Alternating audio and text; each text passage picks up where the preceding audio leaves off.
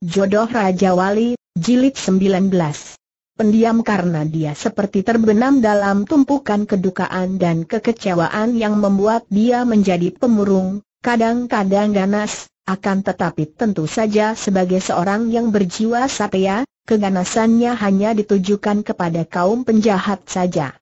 Kini ia telah berjumpa dengan kakaknya dan hal ini membangkitkan atau setidaknya sedikit membongkar sifatnya yang tadinya sudah tertimbun oleh kedukaan itu, mengingatkannya akan keluarganya sehingga timbul kembali gairah hidupnya.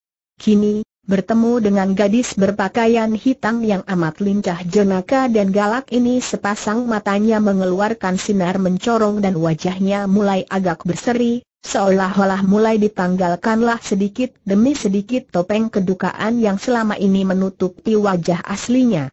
Nona, apakah otakmu miring tiba-tiba Tianbu yang sudah mulai menemukan kembali sifat kegembiraannya itu bertanya sambil memandang tajam. Dia bukan hanya sekedar menggoda atau balas mengejek, melainkan bertanya dengan sungguh-sungguh karena memang dia mulai menyangka dengan perasaan sayang bahwa gadis yang demikian cantik jelita dan berkepandaian tinggi itu agaknya gila. Buktinya, dahulu pun sudah mencari keributan dengan dia untuk perkara yang bukan-bukan saja, dan sekarang bicaranya begitu tidak karuhan. Wei Ali merasa seperti disengat kala jengking ketika mendengar pertanyaan itu. Ada rasa kaget, Heran akan tetapi marahlah yang lebih besar menguasainya sehingga biarpun matanya terbuka lebar amat indahnya, namun bibirnya cemberut meruncing dan sepasang alis yang hitam kecil panjang itu berkerut. Siluman gila. Engkau adalah seorang gila, bunuh diri merupakan perbuatan gila, dan kau masih mengatakan orang lain gila. Sungguh gila Hwe Eli memberi tekanan kepada setiap kata gila sehingga dia seolah-olah telah membalas dengan makian gila kepada siluman kecil sampai empat kali gila. Melihat cara gadis ini melampiaskan rasa mendongkolnya, Kian Bu tak dapat menahan diri lagi dan dia tersenyum. Senyum pertama semenjak dia berjuluk siluman kecil. Sebelum ini, kalau toh dia tersenyum, maka senyumnya itu tentulah hanya senyum untuk bersopan-sopan saja, senyum paksaan. Akan tetapi baru sekali ini dia tersenyum yang terdorong oleh kegembiraan hati. Nona ular. Engkau makin kurang ajar Hwee Eli membanting kaki kanannya. Harus disebut apa kalau tidak mau dinamakan Nona ular? Engkau ke mana-mana pasti membawa ular yang menjijikan. Tidak lebih menjijikan daripada manusia, apalagi yang gila seperti engkau Wei Eli balas menyerang. Hem, kau mengingatkan aku akan sebuah syair. Wah, orang gila mau bersyair, coba ku dengarkan sampai di mana kegilaannya. Manusia adalah makhluk gila yang tidak mengenal kegilaannya. Yang gila mengaku waras, yang waras dimaki gila. Adakah yang lebih gila daripada manusia? Wei Eli bersorak. Bagus, bagus. Nah, Syair itu cocok menggambarkan keadaan dirimu sendiri, hai hai hai. Sudah kusangka bahwa engkau memang siluman gila, siluman gila yang kecil. Kian Bu yang belum pulih semua kelincahannya merasa kewalahan juga menghadapi darah yang ternyata pandai sekali berdebat ini. Nona, kau tadi datang-datang lantas membentak sampai aku kaget, lalu tiada hujan tiada angin kau memaki aku pengecut, cengeng, rendah dan gila yang akan membunuh diri. Sikapmu itulah yang membuat aku mengira engkau berotak miring. Habis, mau apa engkau melongok-longok ke bawah tebing securam itu kalau bukan untuk bunuh diri? Ataukah engkau bercanda dengan kabut yang melayang di bawah kaki? Nah, itu pun merupakan tanda-tanda bahwa engkau gel. Sudahlah, jangan engkau mengobrol makian. Sungguh tak pantas maki-makian macam itu keluar dari mulut yang begitu indah. Sepasang mata itu terbelalak, lalu dia mengangguk-angguk. Hem, sekarang baru aku mengerti mengapa Cuilan jatuh hati kepadamu. Kiranya engkau adalah seorang laki-laki yang selain berkepandaian tinggi, berwajah tampan dan berambut aneh, juga pandai merayu. Kian Bu bengong. Aku? Merayu? Menyangka lagi. Baru saja kau bilang mulutku indah. Kalau memang benar mulutmu indah, harus berkata bagaimana aku ini. Lihat, bentuk bibirmu amat indah, kemerahan dan segar, kalau tersenyum gigimu kecil berderet rata dan putih berkilau, dan lesung pipit di kanan kiri mulutmu mengintai. Benar indah mulutmu. Apakah aku harus bilang mulutmu buruk dan jelek? Aku tidak merayu, hanya bicara sebenarnya. Salahkah itu Kian Bu mulai menemukan kembali kepandaiannya berdebat dan kini Hwe Eli yang menjadi bengong, mencari-cari jawaban yang tepat. Akan tetapi sekali ini sukar dia membantah. Wanita mana yang tidak suka akan pujian? Dan pujian dari siluman kecil itu begitu ajar dan terbuka, begitu langsung dan jelas bukan pujian kosong. Tanpa disadarinya, Warna kemerahan menjalar di kedua pipi yang halus putih itu. Sudahlah katanya gemas karena tidak berdaya lagi untuk menangkis. Ketahuilah, siluman kecil, hatiku masih penasaran dan benci kepadamu kalau aku teringat kepada Cuilan. Hem, mengapa tidak kau lupakan saja dia? Huh, pantas. Apa kau tidak peduli betapa darah yang cantik jelita dan halus budi pekertinya itu jatuh cinta kepadamu? Dia tergila-gila kepadamu, sungguh tolol mengapa seorang gadis seperti dia bisa tergila-gila kepada seorang sepertimu ini. Dia tergila-gila kepadamu, hatinya merana penuh kerinduan kepadamu, dan kau bersikap tidak peduli kepadanya. Bukankah hal itu membuktikan bahwa engkau sebenarnya adalah seorang yang kejam, keji, dan jahat, suka melihat kesengsaraan yang diderita seorang wanita? Melihat darah itu hendak nerocos terus menyerangnya dengan kata-kata tajam, Kian Bu cepat mengangkat tangan ke atas. Stop! Engkau salah mengerti dan tidak mengerti, Nona. Aku memang pernah menolong Nona Cuilan. Dan dia jatuh cinta kepadaku, hal ini aku mengetahuinya. Akan tetapi, salahkah aku kalau ada seorang gadis jatuh cinta kepadaku? Salahkah aku kalau aku tidak membalas cintanya? Engkau sungguh tidak mengerti. Hanya karena aku merasa amat kasihan kepadanya sajalah maka aku sengaja bersikap tidak peduli dan kasar kepadanya. Memang sikap itu ku sengaja. Sepasang matu yang bening itu melotot. Coba, betapa gilanya. Kasihan kepada orang dan menyatakan rasa kasihan itu dengan sikap tidak peduli dan kasar. Seperti baris terakhir dari syair gilamu itu, Adakah yang lebih gila daripada itu? Engkau seperti anak kecil saja, dan memang engkau seorang anak-anak yang belum tahu tentang seluk-beluk cinta. Makin meradang hati Hui Ali. Engkau makin besar kepala dan sombong saja. Baiklah, guru besar, berilah kuliah kepada hamba mengenai cinta karena guru besar tentu merupakan seorang yang berpengalaman dan ahli tentang cinta Hui Ali menjura dengan sikap mengejek.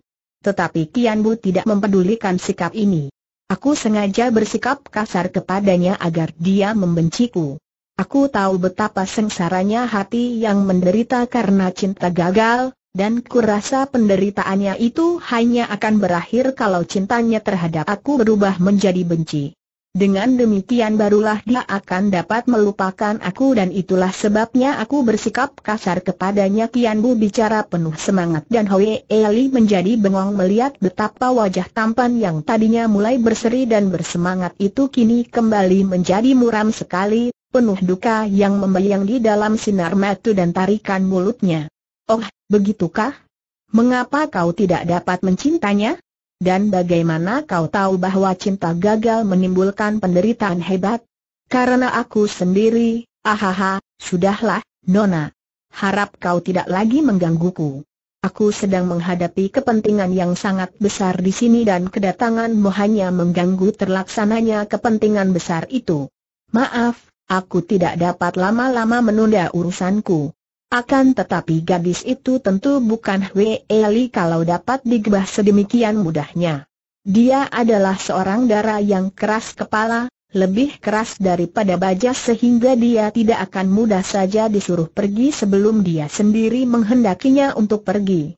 Eh, apakah tempat ini milikmu maka kau berani mengusir aku pergi dari sini? Kalau aku tidak mau pergi, kau mau apa tantangnya? Siluman kecil melirik dan menarik napas panjang.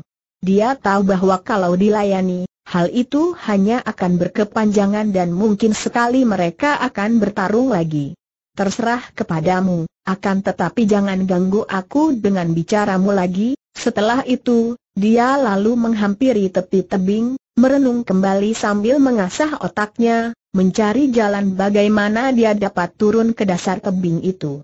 Setiap orang manusia tentu mempunyai sifat ingin tahu. Wei Li pun tidak terkecuali. Melihat pemuda itu longak-longok memandang ke bawah tebing, dia tak dapat menahan lagi hasrat ingin tahunya dan dia pun lalu menghampiri tepi tebing dan mulai pula ikut longak-longok memandang ke bawah tebing, seolah-olah hendak mencari sesuatu yang sedang dicari-cari pula oleh pemuda itu.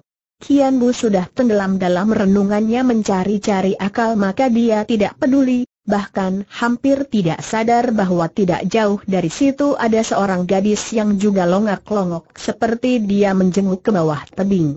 Akhirnya dia menarik napas panjang dan menggeleng kepala, dan seperti dalam mimpi dia melihat Wei Eli juga menjenguk ke bawah tebing lalu gadis itu mengangkat muka memandangnya. Mereka saling bertemu pandang dan Hui Eli bertanya secara otomatis, sudah ketemu. Secara otomatis pula Tian Bu menggeleng kepala sambil menjawab, belum, baru dia terkejut dan sadar, maka sambungnya dengan bentakan. Ketemu apanya? Tentu barang yang kau cari-cari itu, apalagi?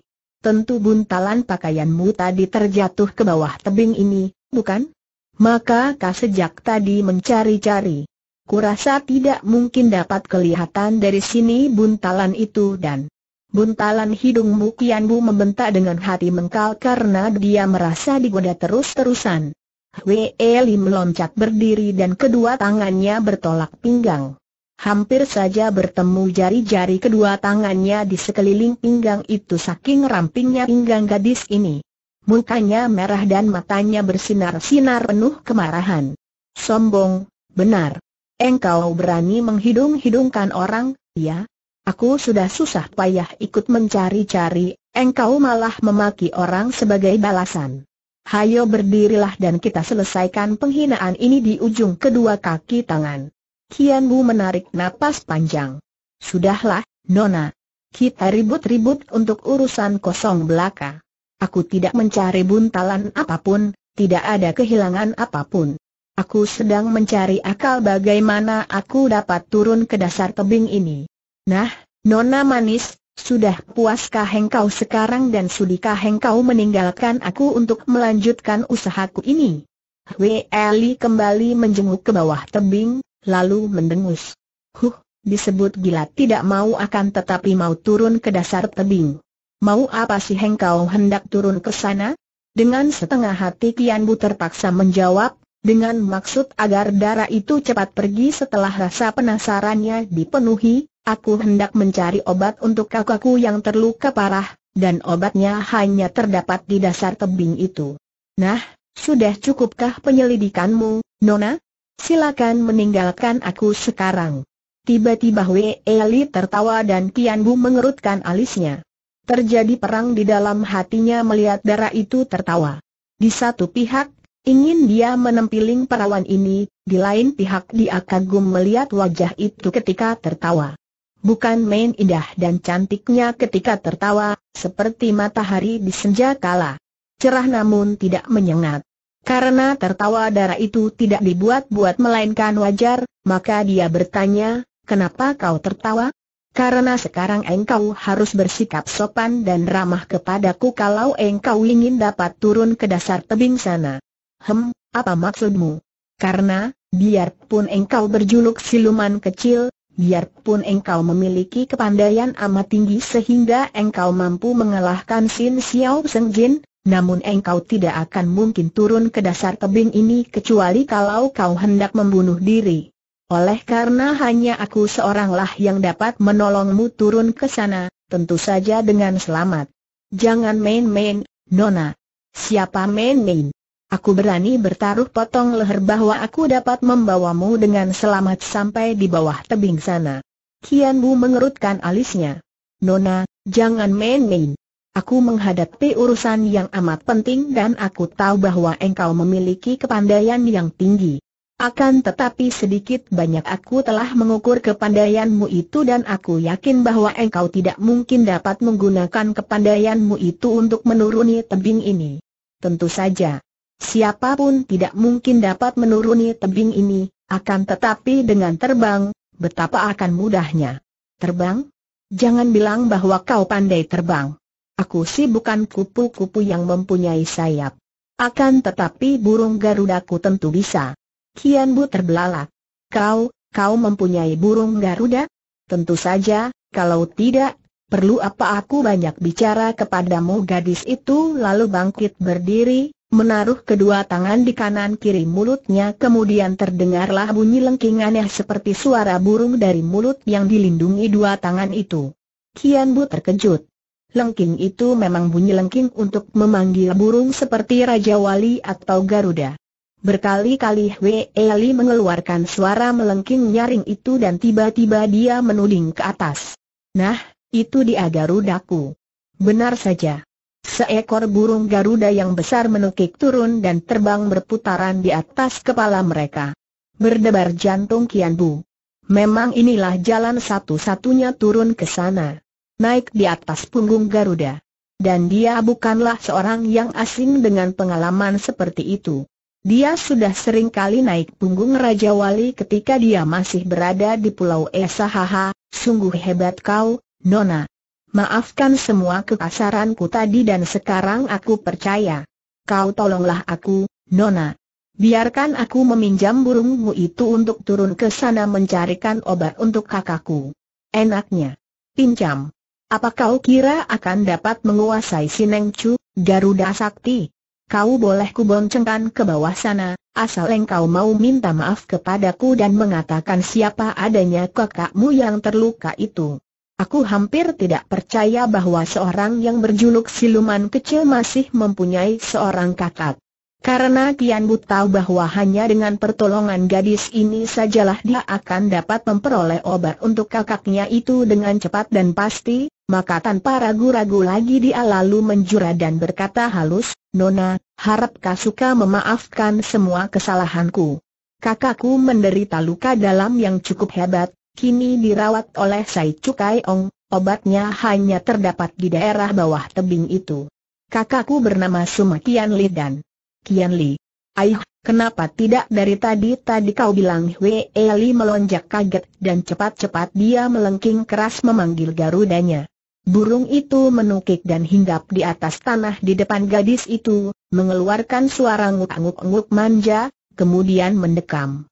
Hayo cepat, nanti saja kau ceritakan bagaimana Sumakian Li sampai terluka hebat. Kau boleh duduk di belakangku. Sin Eng Chu, kau antarkan kami ke bawah sana berkata demikian, Wei Li melompat ke punggung Garuda itu lalu menggeser ke depan sedikit untuk memberi tempat kepada Kian Bu. Pemuda itu yang sudah biasa menunggang burung besar, lalu meloncat dengan ringan agar tidak mengejutkan burung itu dan dia telah duduk di belakang Hwe Eli.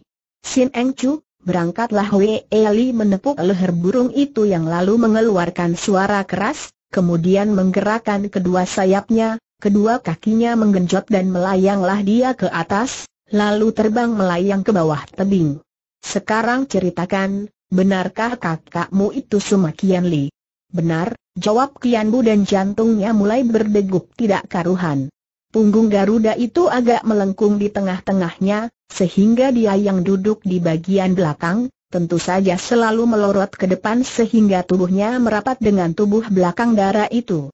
Rambut darah itu tertiup angin dan menyapu-nyapu muka dan hidungnya, selain mendatangkan rasa geli juga bau harum menyergap hidungnya dan rambut halus itu mengusap-usap mukanya seperti membelainya. Sungguh aneh. Engkau siluman kecil dan kakakmu Sumakian Li. Lalu siapa namamu sebenarnya? Namaku Sumakian Bu. Tanda petik. Ah gadis itu berseru demikian keras hingga burungnya terkejut dan agak miring. Wei Li cepat menepuk-nepuk punggungnya menenangkan. Jadi engkau dan kakakmu itu putra-putra Pulau Es? Kian Bu kini yang terkejut. Bagaimana gadis ini dapat mengenal kakaknya dan tahu pula bahwa dia dan kakaknya itu dari Pulau Es? Akan tetapi karena dia mengharapkan bantuan gadis itu, dia tidak mau banyak bertanya lebih dulu. Benar, Nona. Pantas engkau begini lihai. Hem. Dan pantas saja engkau agaknya sudah biasa menunggang Garuda. Memang kami juga mempunyai Raja Wali di sana. Wei Eli mengangguk. Aku tahu. Hening sejenak dan terdengar oleh Kian Bu gadis itu bicara kepada diri sendiri, lirih, kiranya dari Pulau Es. Tak lama kemudian gadis itu berkata lagi, aku tahu bahwa Sumakian Li juga amat lihai seperti engkau, bagaimana dia sampai dapat menderita luka parah? Kian Bu hampir tidak dapat menjawab pertanyaan itu karena dia sekarang makin gelisah duduknya. Sejak tadi jantungnya sudah berdebar keras tidak karuan dan makin lama makin hebat gelora di dalam hatinya. Dia duduk begitu rapat sehingga tubuh depannya menempel ketat pada tubuh belakang gadis itu. Dan kehangatan tubuh itu sampai terasa olehnya kelunakan dan kehalusan kulit di balik pakaian itu, tercium olehnya bau keringat, bau badan yang khas, dan mulailah dia membayangkan yang bukan-bukan. Teringatlah dia ketika dia mengalami permainan cinta yang amat mesra dan hebat ketika dia untuk beberapa lamanya dahulu terpikat oleh seorang wanita cantik yang berwatak cabul, yaitu Mau Xiao Mo Li Lau Hang Kui, si siluman kucing. Dan membayangkan semua pengalamannya dengan Lau Hang Kui yang lalu, sedangkan di depannya duduk seorang darah yang malah jauh lebih cantik menarik daripada Lau Hang Kui, lebih muda, lebih menggairahkan, maka seketika naiklah darah ke kepala Kian Bu dan sejenak menggelapkan mata batinnya. Dia memejamkan mata akan tetapi makin terbayanglah adegan-adegan mesra antara dia dan Lau Hang Kui ketika bermain cinta, dan wajah Hang Kui itu berubah menjadi wajah darah yang duduk di depannya. Dia berusaha untuk menekan perasaan ini dan mengusir bayangan-bayangan itu, maka terjadilah perang hebat di dalam hati dan pikirannya pada saat itu.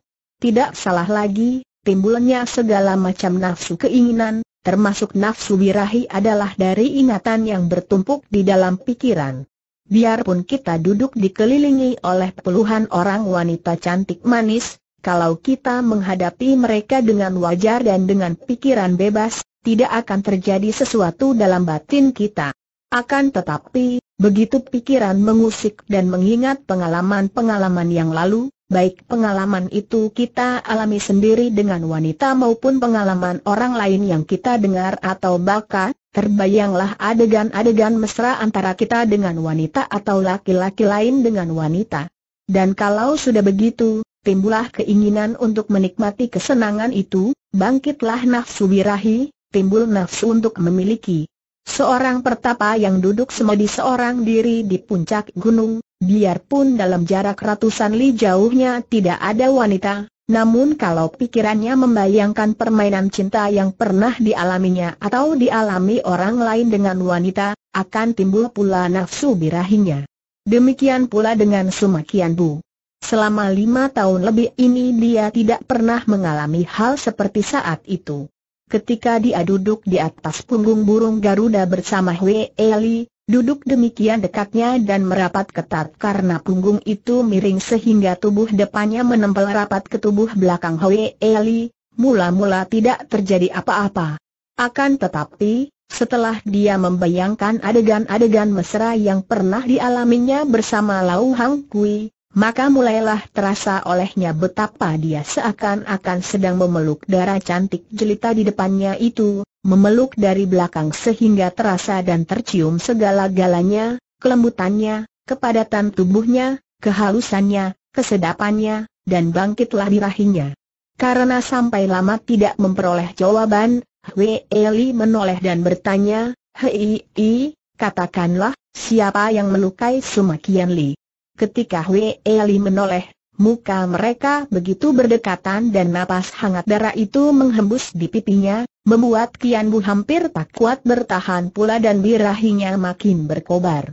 Ih tiba-tiba Hwe Eli berseru dengan kaget dan geli dan pada saat itu Kian Bu menjawab gugup karena dia maklum mengapa darah itu menjerit. Akulah yang memukulnya. Ah kembali Hwe Eli berseru kaget dan sekali ini seruannya adalah karena dua hal, Pertama karena dia merasakan keadaan pemuda itu yang sedang diamuk birahi dan kedua kalinya mendengar bahwa pemuda itu yang memukul dan melukai Sumakian Li. Berbareng dengan seruannya itu, tangannya bergerak dan dua ekor kepala ular mematuk dari kanan kiri ke arah leher dan dahi Kian Bu. Hei Kian Bu berteriak keras, cepat dua tangannya menangkis dengan pengerahan tenaga. Plak, plak, buk. Kedua ekor ular itu ditangkis remuk kepalanya, tetapi tangan Hwe Eli telah mendorong dadanya sehingga tanpa dapat dicegah lagi tubuh Kian Bu terguling jatuh dari atas punggung Garuda.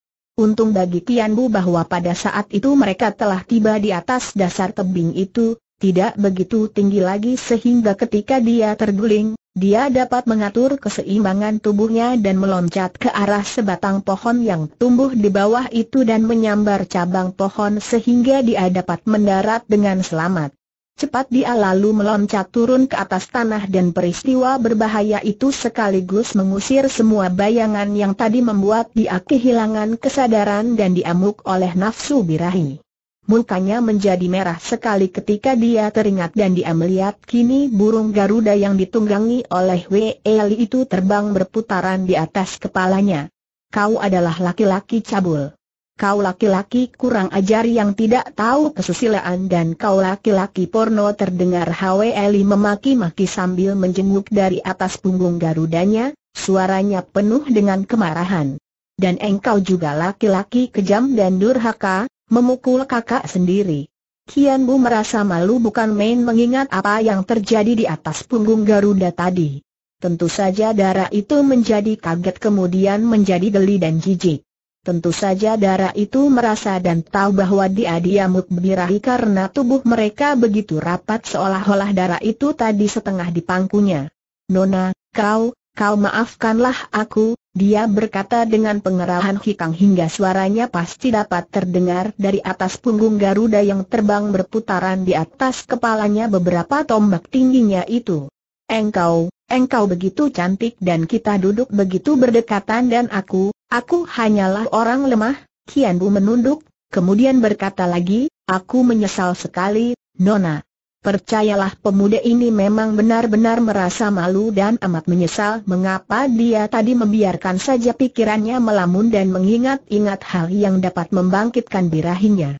Dia tidak tahu betapa di atas punggung Garuda, Wei yang marah-marah itu menjadi merah mukanya karena jengah atau malu teringat akan keadaan pemuda itu tadi yang duduk mepet di belakangnya sehingga pinggulnya dapat merasakan kebangkitan birahi pada pemuda itu. Mendengar ucapan Kian Bu, diam-diam Hui Eli memuji kejujuran pemuda itu dan dia memang sudah memaafkannya karena bukankah sesungguhnya pemuda itu tidak melakukan sesuatu terhadap dirinya? Kalau pemuda itu sudah menggerakkan tangan untuk merabanya misalnya, barulah hal itu dapat dianggap sebagai suatu kekurangan ajaran. Yang membuat dia penasaran adalah ketika mendengar betapa siluman kecil itu memukul dan melukai Sumakian Li. Birahi yang timbul pada diri siluman kecil tadi bahkan membuktikan bahwa dia memang mempunyai kecantikan dan daya tarik istimewa sehingga seorang tokoh besar seperti siluman kecil, yang dia melihat sendiri menolak cinta kasih seorang gadis cantik jelita seperti Cuilan, ternyata timbul birahinya terhadap dia.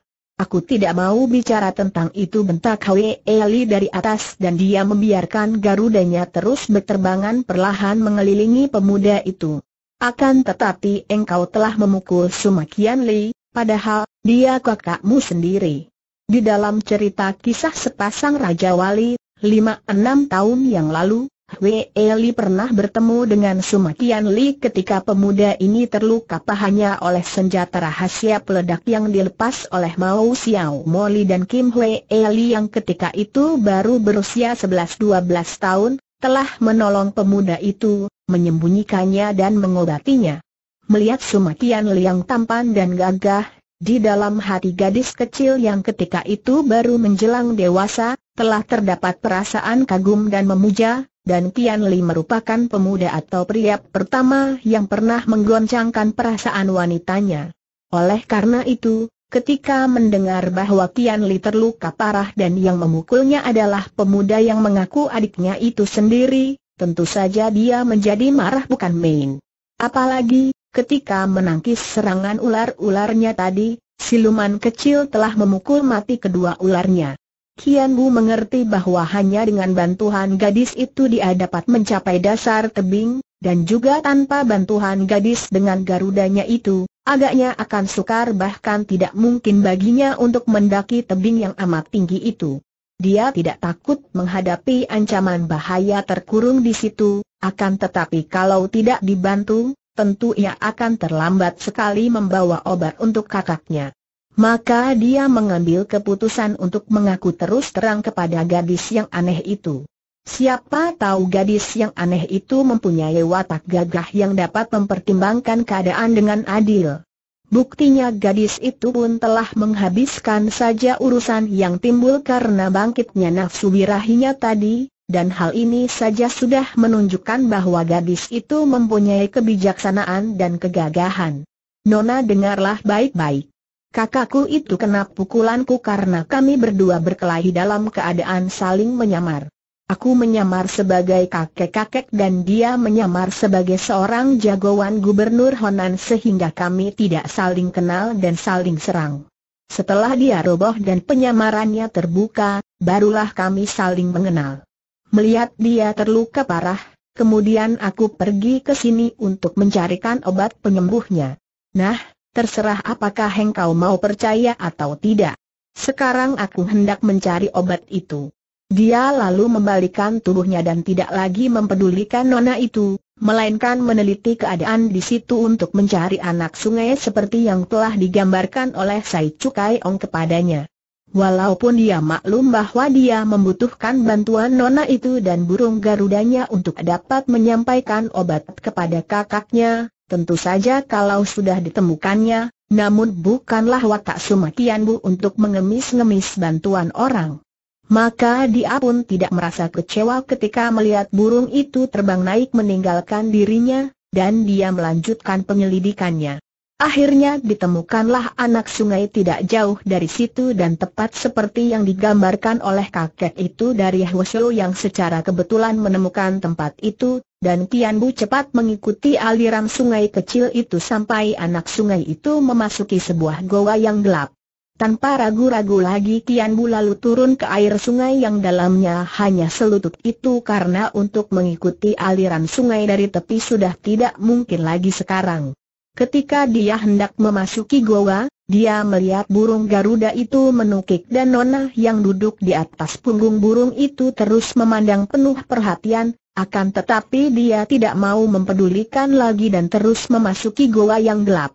Dia tidak tahu berapa jauhnya dia menempuh jalan yang amat gelap dan sukar itu karena dia harus terus berjalan di dalam sungai dengan air kadang-kadang sampai sedalam dadanya dan dasar sungai itu kadang-kadang amat licin dan kadang-kadang penuh dengan batu-batu runcing. Akan tetapi, setelah melewati waktu yang agaknya tiada habisnya itu, akhirnya Tian Bu melihat cahaya terang di sebelah depan dan tibalah dia di daerah terbuka.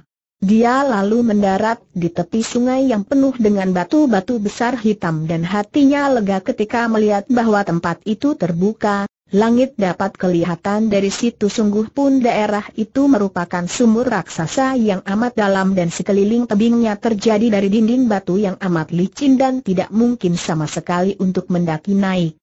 Akan tetapi di bawah dinding licin yang amat tinggi itu terdapat banyak batu-batu karang besar dan terdapat pula goa-goa yang besar dan hitam sehingga tempat yang terpencil itu kelihatan menyeramkan sekali. Kian Bu menjadi bingung. Menurut petunjuk dari Sai Cukai Ong, setelah tiba di tempat terbuka dia harus memasuki sebuah goa karena di dalam goa yang katanya merupakan terowongan panjang itulah dia akan menemukan jamur panca warna yang akan menjadi obat bagi kakaknya. Akan tetapi goa yang mana? Dilihat dari tempat ia berdiri, agaknya di sekeliling tempat yang merupakan lambung gunung terhimpit tebing itu terdapat ratusan buah goa. Mana dia bisa tahu goa yang manakah yang benar? Dia tidak menyalahkan Sai Cukai Ong karena kakek itu sendiri belum pernah tiba di tempat ini dan hanya mendengar dari orang lain. Tiba-tiba ada bayangan hitam di dekat kakinya. Cepat dia melihat ke atas dan benar saja, jauh sekali di atas tebing-tebing itu nampak titik hitam yang bukan lain adalah burung Garuda tadi. Tentu saja seekor burung yang terbang dapat memeriksa keadaan sekeliling itu dan dapat menemukan sumur raksasa ini, tetapi kalau harus mendatangi tempat ini melalui atas, dengan jalan kaki, sungguh merupakan hal yang sama sekali tidak mungkin. Burung itu lewat dan samar-samar dia melihat gadis aneh yang duduk di punggung burung itu menjenguk ke bawah. Akan tetapi dia tidak mempedulikan gadis pemarah itu karena dia masih menghadapi banyak pekerjaan yang sukar sekali. Tanpa membuang banyak waktu lagi, mulailah Tian Bu memeriksa dan memasuki goa itu satu demi satu. Sungguh hal ini merupakan pekerjaan yang amat sukar dan melelahkan. Goa-goa itu ternyata banyak sekali yang amat dalam, merupakan terowongan-terowongan panjang dan berliku-liku, akan tetapi setelah dimasuki dan diikuti, ternyata hanya merupakan goa-goa kosong dan buntu, tidak ada nampak jamur sama sekali di situ. Karena tidak dimasuki sinar matahari, lumut pun tidak nampak, apalagi jamur pancawarna. Baru lasan lubang goa yang diperiksanya dengan sia-sia, Hari telah mulai gelap. Kian Bu merasa heran sekali ketika keluar dari goa dan melihat matahari telah lenyap dan tempat itu cepat sekali gelap. Tadi ketika dia membonceng gadis itu turun, hari masih pagi dan dia membuang waktu untuk memeriksa goa-goa itu hanya makan waktu 4-5 jam saja. Mengapa sekarang tahu-tahu telah menjadi remang-remang, menjadi senja dan hampir malam? Akan tetapi ketika dia berdongak memandang ke sekeliling di atas tempat yang seperti sumur raksasa itu, mengertilah dia. Tentu saja di tempat ini, waktu yang diukur dengan sinar matahari amatlah berbeda dengan di atas sana, di lapangan terbuka di mana sinar matahari dapat bercahaya sepenuhnya. Di sini, matahari cepat lenyap terhalang ujung tebing di barat dan biarpun di dasar tempat itu sudah gelap, namun dia dapat menduga bahwa di atas sana tentu masih terang dan baru lewat tengah hari. Karena gelap, terpaksa Tian Bu menunda pekerjaannya memeriksa goa-goa itu. Dia duduk di atas batu yang halus permukaannya dan banyak terdapat di tempat itu, sambil termenung dan memandang ke sekeliling. Di tempat ini tidak ditumbuhi pohon karena lantainya penuh dengan batu. Ada pohon-pohon tumbuh di lereng tebing dan pohon-pohon itu merupakan pohon-pohon liar yang tidak mengandung buah yang dapat dimakan. Akan tetapi, dia tidak lapar dan sebagai seorang yang terlatih, tidak makan beberapa hari saja bagi pemuda Pulau Es ini tidaklah merupakan hal yang menyiksa. Juga dia tidak perlu membuat api unggun karena hawa dingin tidak akan mengganggu tubuhnya yang sudah biasa dengan hawa yang jauh lebih dingin ketika dia berlatih di Pulau Es maka duduklah Sumakian Bu di atas batu itu, bersila dan mulai melakukan siulan untuk mengumpulkan hawa murni, memulihkan tenaga dan memberi kesempatan kepada tubuhnya untuk mengasuh. Kegelapan kini menyelimuti tempat itu dan hanya sinar bintang-bintang di langit yang hanya seperempat luasnya kalau dibandingkan langit biasanya di tempat terbuka, yang mendatangkan cahaya remang-remang. Sunyi sekali di sekitar tempat itu, kesunyian yang makin terasa karena adanya suara gemercik air yang tiada hentinya dan yang kini terdengar amat jelas. Berbeda dengan waktu siang yang harinya pendek sekali, Sebaliknya waktu malamnya di tempat itu amat panjang dan lama karena matahari yang di permukaan bumi sudah muncul dan naik tinggi, di dasar sumur raksasa itu masih belum nampak. Kian Bu sudah tidak melihat adanya bintang-bintang di langit yang sudah disapu bersih oleh sinar matahari, namun tempat itu masih gelap. Tiba-tiba dia mendengar suara di belakangnya. Cepat dia menoleh dan meski Kian Bu merupakan seorang pemuda gemblengan, seorang pendekar sakti yang berkepandaian tinggi, tak urung bulu tengkuknya meremang ketika dia melihat sesosok tubuh berindap-indap keluar dari sebuah di antara ratusan goa itu. Akan tetapi segera dia melenyapkan rasa takut itu dengan dugaan bahwa tentu orang itu adalah darah cantik yang tentu saja dapat turun dengan bantuan garudanya. Karena itu dia pun bersikap dingin saja dan melanjutkan siulannya. Bayangan orang itu dapat bergerak cepat dan kini telah tiba di dekat Tian Bu, Lalu tiba-tiba saja bayangan itu menyerang dengan cengkeraman dari belakang ke arah tengkuk dan kepala pemuda itu. Kian Bu terkejut dan cepat dia meloncat ke depan sehingga cengkeraman itu luput. Akan tetapi orang itu dengan marah menerjangnya terus dengan pukulan-pukulan yang aneh. Nona, berhenti dulu. Mengapa kau menyerangku? Nona Kianbu lalu mengelak ke sana sini dan dia makin terheran ketika memperoleh kenyataan bahwa gerakan orang ini sungguh jauh berbeda daripada gerakan Nona pemilik Garuda. Dara cantik pemilik Garuda itu memiliki gerakan yang berdasarkan gerakan ilmu silat tinggi, lihai sekali, akan tetapi sebaliknya orang ini menyerangnya dengan gerakan kasar, hanya gerakannya lebih nekat dan liar. Hei hei hei, hai hei, kau menyebutku Nona? Hai hai hik wanita itu terkekeh dan Kian Bu makin terkejut dan terheran ketika dia mendapat kenyataan dari suara wanita ini bahwa dia sama sekali bukanlah darah pemilik burung Garuda. Akan tetapi cuaca masih terlalu gelap untuk dapat mengenal orang ini yang hanya tampak bayangannya saja. Siapakah kau? Dan kenapa kau menyerangku tanyanya? Hai hik hik, kau adalah pembunuh keji. Kau manusia jahat, masih tanya mengapa aku menyerangmu. Hihehe, aku hendak membunuhmu untuk membalaskan kematian nyonya majikanku dan wanita itu menyerangnya lagi. Kian Bu kembali mengelak ke sana kemari dengan amat mudahnya karena ternyata kini bahwa serangan-serangan itu hanya sembarangan saja dan sama sekali tiada artinya bagi dia. Akan tetapi dia merasa tidak enak untuk merobohkan seorang wanita, apalagi seorang wanita yang agaknya tidak waras otaknya. Aku tidak membunuh nyonya majikanmu. Siapa sih nyonya majikanmu itu tanya lagi Kian Bu sambil tetap mengelak ke sana sini dan terus main mundur. Wanita itu terus mengejar dan mendesaknya, melancarkan serangan-serangan nekat dan membabi buta. Huh, engkau masih pura-pura lagi bertanya? Nyonyaku tentu saja Ang Siok Bi, siapa lagi? Dan dia sudah kalian bunuh secara kejam, dan kalian telah melemparkan aku ke sungai, ke pusaran maut. Hihehe, akan tetapi kalian keliru, aku tidak mati dan sekarang aku akan membalaskan kematian majikanku, hik hik. Kian Wu mengerutkan alisnya. Tentu saja dia tidak mengerti apa yang dimaksudkan oleh wanita ini. Sementara itu, Cahaya matahari mulai menerangi tempat itu dan akhirnya dia dapat melihat bahwa yang menyerangnya mati-matian itu adalah seorang wanita yang usianya sudah 30 tahun lebih, rambutnya awut-awutan dan pakaiannya juga seperti pakaian seorang jembel terlantar, seluruh tubuhnya menunjukkan bahwa wanita itu telah lama menderita di tempat ini. Sepasang matanya yang berputar-putar itu menandakan bahwa wanita ini memang tidak waras lagi otaknya. Kian Bu mengelak ke samping dan kini jari tangannya menyambar. Robohlah wanita itu terkena totokannya. Setelah Kian Bu dapat melihat keadaan wanita itu, maka dia tidak ragu-ragu lagi untuk merobohkannya dengan totokan yang tidak berbahaya, hanya membuat kaki tangan wanita itu lumpuh. Wanita itu memandang kepada Tian Bu dengan mata terbelalak, kemudian menangis. Huhuhu, kiranya engkau adalah Chuan muda Ang Tek Hoat. Huhuhu, Chuan muda, ibumu telah mati dibunuh orang. Kini Kian Bu terkejut bukan main mendengar wanita ini menyebut nama Ang Tek Hoat.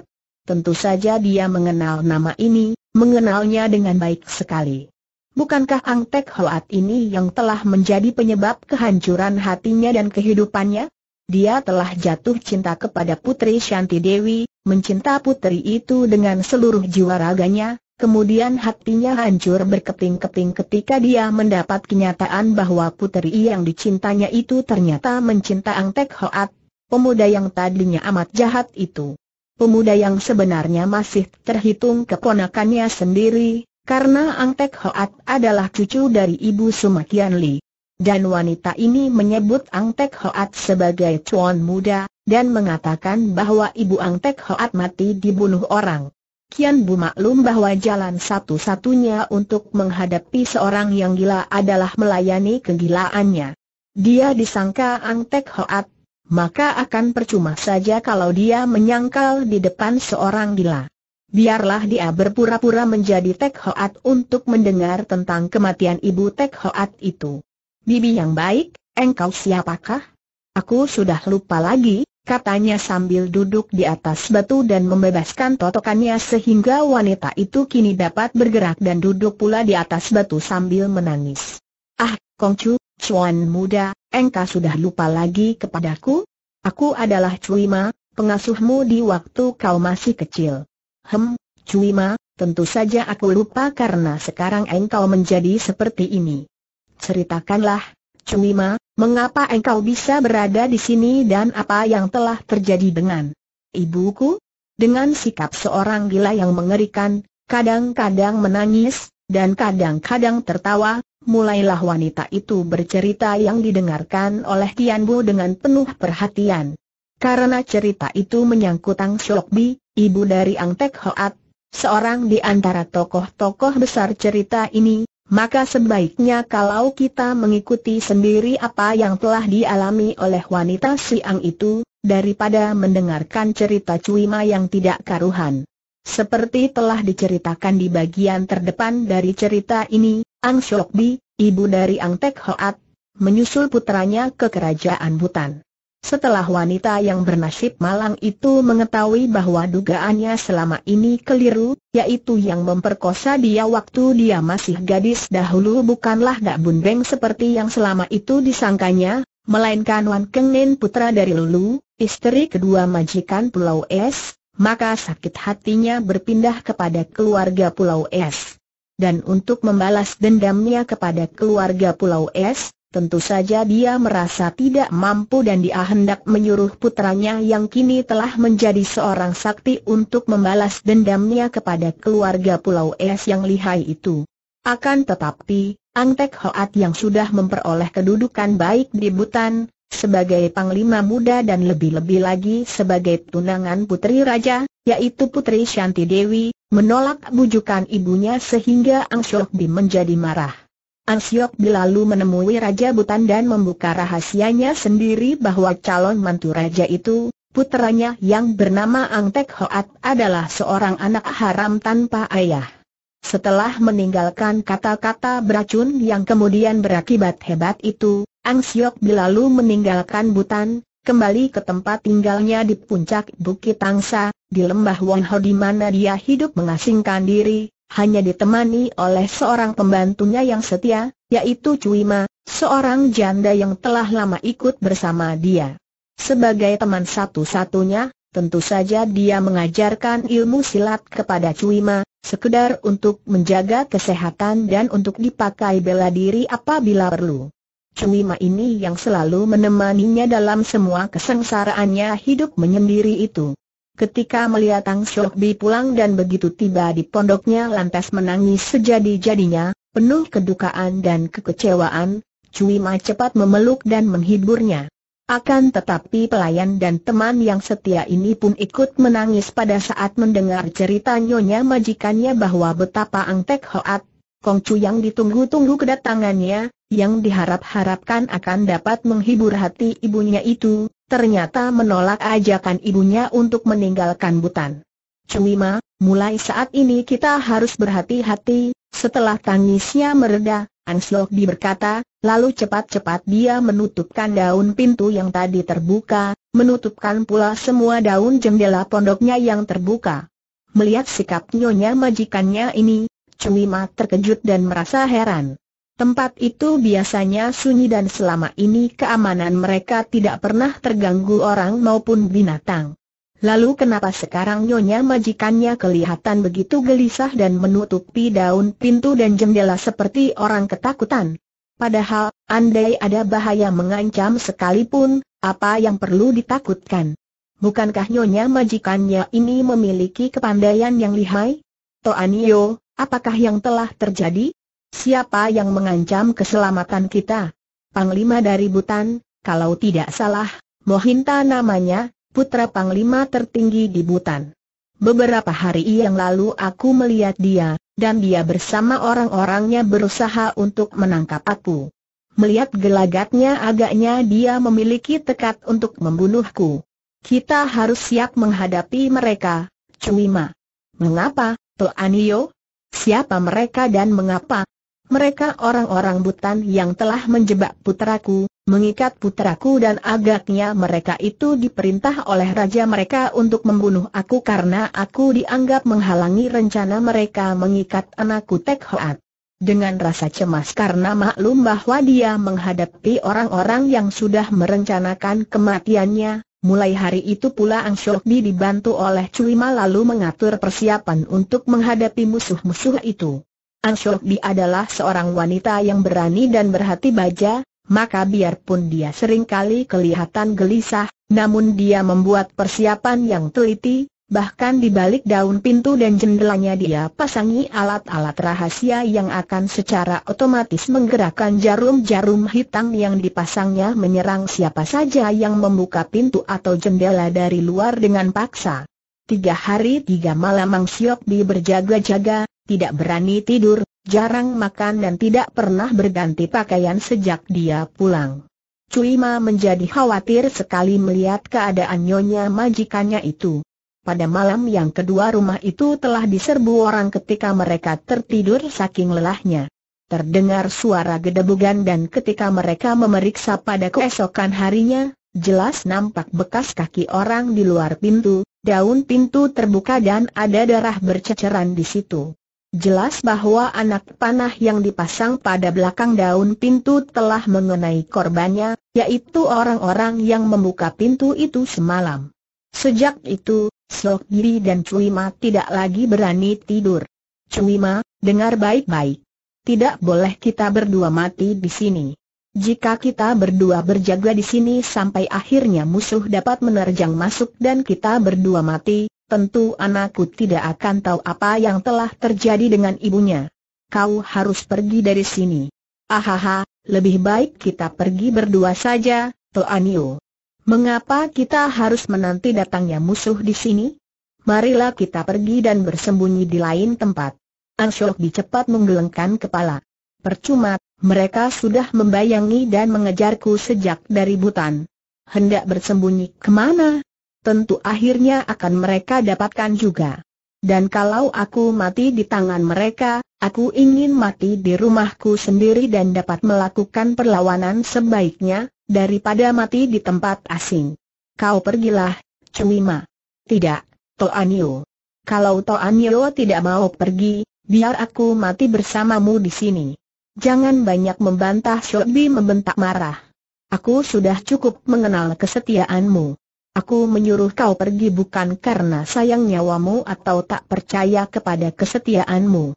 Justru kalau engkau setia, engkau harus pergi, harus hidup dan kelak kau ceritakanlah kepada Ang Tek Hoat anakku bagaimana ibunya mati dan oleh siapa. Mengertikah engkau? Katakan bahwa yang membayangi ibunya adalah Mohinta dan anak buahnya, orang-orang dari Butan. Mengerti?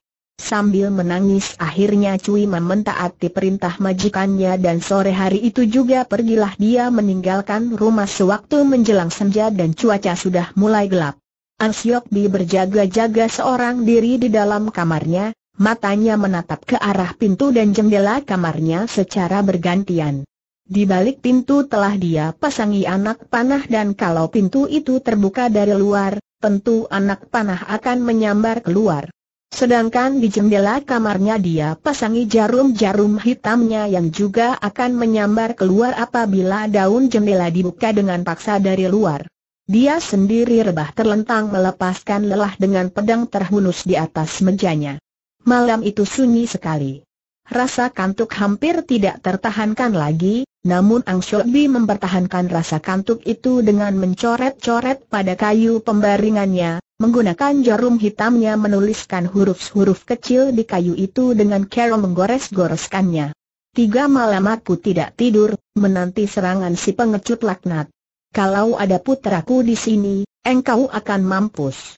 Tiba-tiba dia menghentikan goresan jarumnya karena dia mendengar sesuatu di luar kamarnya. Siok dicepat meloncat turun dan dengan pedang di tangan, matanya memandang tajam ke arah jendela dan pintu, juga dia melirik ke atas, kalau-kalau ada musuh yang datang masuk melalui genteng. Tetapi suara itu lenyap dan selanjutnya tak ada gerakan apa-apa lagi. Jantungnya berdebar tegang, akan tetapi lalu dia tenang kembali.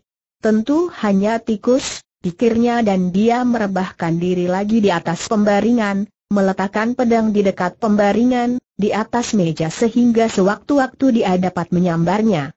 Gangguan suara yang mencurigakan itu menambah semangat dan mengusir rasa kantuknya yang tadi hampir tidak dapat ditahankannya lagi itu. Dia membayangkan putranya, tak terasa air matanya berlinang. Harapan satu-satunya hanya kepada putranya. Dia telah menderita tekanan batin belasan tahun lamanya. Dia merasa sakit hati semenjak ada orang memperkosanya, orang yang disangkanya semula adalah pendekar sakti Gak Bun Beng akan tetapi yang ternyata bukan pria yang pernah menjatuhkan hatinya itu, melainkan Wan Kengnin, putra dari Lulu yang kini menjadi istri kedua dari pendekar super sakti majikan Pulau Es dan Tek Hoat, putranya yang diharap-harapkan akan dapat menebus penghinaan dan membalaskan sakit hatinya itu, ternyata telah mengecewakan. Bahkan kini dia dikejar-kejar oleh rombongan orang-orang butan yang dipimpin oleh Panglima Mohinta itu. Jangan-jangan rombongan itu disuruh pula oleh putranya. Mungkinkah itu? Dia menggigit bibir dan teringatlah dia akan dongeng kuno tentang seorang janda yang puteranya setelah menjadi seorang besar kemudian melupakan ibunya. Bukan hanya melupakan ibunya yang miskin, bahkan karena tidak ingin orang mengetahui bahwa wanita janda miskin itu adalah ibunya, si anak yang telah menjadi orang besar itu menyuruh membunuh ibunya sendiri. Akan demikian pulakah nasibnya? Sedemikian jahat dan durhakakah puteranya? Membayangkan kemungkinan yang dibantahnya sendiri ini, Ang Siok Bi tidak dapat menahan lagi tangisnya dan air matanya bercucuran. Akan tetapi, dia merasa mengantuk sekali. Rasa kantuk yang tidak dapat ditahannya lagi dan karena menangis tadi, maka dia menjadi lengah, tidak melihat betapa ada asap halus memasuki kamarnya dari lubang di dekat pintu. Setelah asap itu mengenai mukanya, timbullah rasa kantuk yang amat hebat, yang tidak dicurigainya karena selama tiga hari tiga malam boleh dibilang dia tidak berani memejamkan mata. Dan sekarang, bersedih karena membayangkan kemungkinan putranya akan berbuat keji dan durhaka terhadap dirinya, Siok Bi menjadi lemah dan bersikap masa bodoh, maka dia pun tidak melawan rasa kantuk itu dan akhirnya tertidurlah wanita ini dengan nyenyaknya. Tak lama kemudian ada suara gerakan di atas kamar itu. Genteng dibuka dan sesosok bayangan melayang masuk. Ketika bayangan itu melihat betapa Siok Bi telah tidur, dia tertawa di balik sapu tangan yang dipergunakan sebagai kedok menutupi mulut dan hidungnya, kemudian dia mengeluarkan suara suitan perlahan. Dari atas genteng lalu melayang turun lagi seorang yang juga memakai kedok sapu tangan dan orang ini mengangguk-angguk. Dia sudah pulas, Chuan muda Mohinta, kata orang pertama dalam bahasa Butan. Laki-laki kedua yang ternyata adalah Mohinta itu, mencabut pedangnya dan dengan tenang saja dia menggerakkan tangannya. Pedang meluncur dan menusuk dada Ang Bi, tepat mengenai ulu hatinya dan menembus sampai ke punggung. Cepat Mohinta mencabut pedang itu dan tubuh Ang Bi berkelojotan, darah munkrat-munkrat dari dada dan punggungnya, Lalu dia terdiam dan tewas tanpa dapat bersuara lagi, hanya sepasang matanya yang terbelalak memandang kepada dua orang yang membunuhnya secara curang itu. Dua orang laki-laki itu lalu meloncat keluar melalui genteng, di mana terdapat beberapa orang teman mereka dari pergilah mereka menghilang di telan kegelapan malam. Tidak ada seorang pun yang menyaksikan pembunuhan keji itu. Demikianlah peristiwa pembunuhan atas diri Ang Shok Giri dan ketika Ang Tek Hoat muncul di dalam pondok ibunya, dia hanya mendapatkan kerangka ibunya, coretan tulisan di atas kayu pembaringan, dan pedang ibunya, tanpa dapat mengerti siapa yang telah membunuh ibunya. Tentu saja cerita yang disampaikan oleh Cui Ma kepada Sumakian Bu tidak lengkap, dan dia hanya bercerita tentang Angslok Di sampai dia disuruh pergi oleh majikannya di waktu senja itu, kemudian dia menangis lagi sesenggukan. Lalu bagaimana, Cui Ma? Bagaimana dengan ibuku Sumakian Bu mendesah, masih terus bersandiwara melayani si gila itu yang menyangka dia adalah Ang Tek Hoat putra dari Angslok Di. Karena tidak berani membantah, sore hari itu aku meninggalkan rumah, tetapi aku tidak pergi jauh dan pada keesokan harinya, aku kembali lagi ke pondok.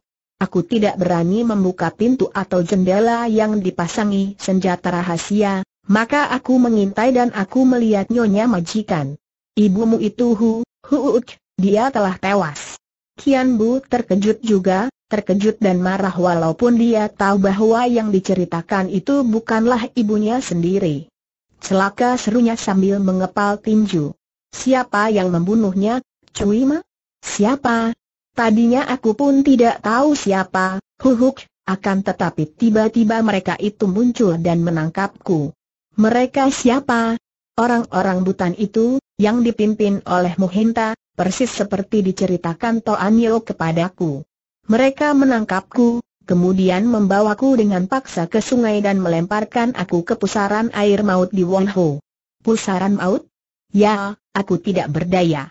Aku dilempar di air dan pusaran air menyedot dan menarikku. Aku tidak tahu apa-apa lagi dan ketika aku sadar, ternyata aku telah berada di sini, di tepi sungai yang memasuki terowongan itu, Kembali dia menangis. Sumakian Bu tertegun dan terheran-heran. Kiranya di samping Hwasyo yang tergelincir ke dalam jurang dan menemukan tempat ini secara aneh, juga dia yang dapat turun dibantu oleh gadis yang memiliki burung Garuda, ada seorang lain yang dapat tiba di sini secara lebih aneh lagi, yaitu Cui Ma ini. Melalui pusaran air dan sungai yang memasuki terowongan. Kemudian dia teringat akan keperluannya sendiri.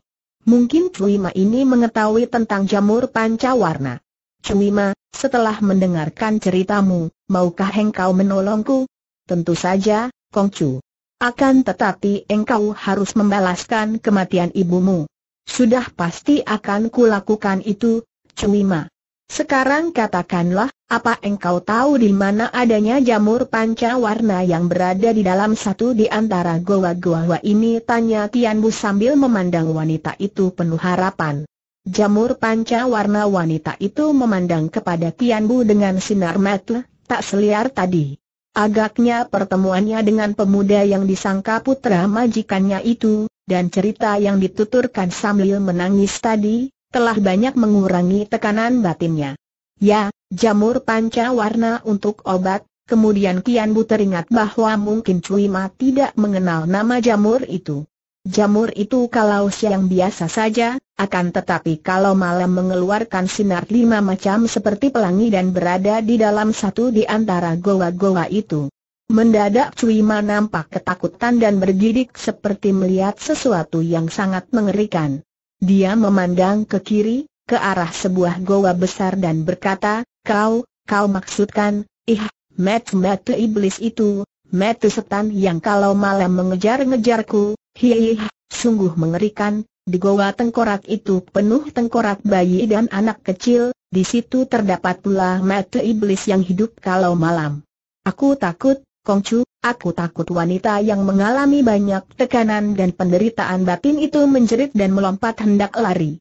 Akan tetapi Kian Bu lebih cepat lagi dan sudah memegang lengannya. Tenanglah, Cuma, tidak ada apa-apa dan jangan takut. Ada aku di sini. Yang kau maksudkan dengan goa tengkorak itu yang mana? Yang besar itu? yang di depannya ada tumpukan tiga buah batu besar itu dia menuding ke arah kiri di mana terdapat sebuah goa yang agak besar. Wanita itu menoleh dan memandang ke arah goa itu dan matanya makin terbelalak berputaran. Agaknya gilanya kumat lagi. Benar, benar, aku takut, takut. Dan dia lalu menangis terisak-isak dalam pelukan Tianbu yang merasa kasihan sekali kepada wanita ini.